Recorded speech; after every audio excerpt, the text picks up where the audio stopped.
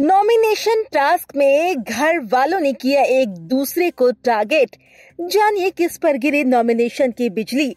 दरअसल big boss 16 के आने वाले एपिसोड में आप देखने वाले हैं कि यहाँ पर अंकित को कैप्टन होने के नाते एक पावर दिया जाता है और इसी बीच यहाँ पर घर में नॉमिनेशन की प्रक्रिया होती है, जहाँ पर नॉमिनेशन की बिजली गिरती हुई नज़र आती है घर वालों पर। यहाँ पर घर वाले एक दूसरे पर टारगेट करते हुए एक दूसरे से बदला निकालते हुए नज़र आते हैं, जहाँ पर अर्चना, शालीन, टीना को टारगेट करती है। वहीं यहाँ पर अर्चना जो है, अपनी दोस्त सौंदर्या को भी नहीं छोड़ती और कहती है कि तुम जो है ओरिजिनल सामने निकल कर आओ। और इसी के साथ साथ यहाँ पर सुम्बुल की जब बारी आती है तो सुम्बुल शालीन को टारगेट करती हुई नज़र आती है और नॉमिनेशन की बिजली गिराती है।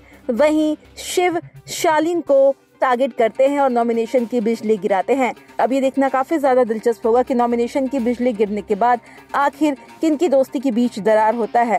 फ़िलहाल बिग बॉस 16 से जुड़ी तमाम लेटेस्ट अपडेट के लिए चैनल को सब्सक्राइब करना ना भूलिएगा।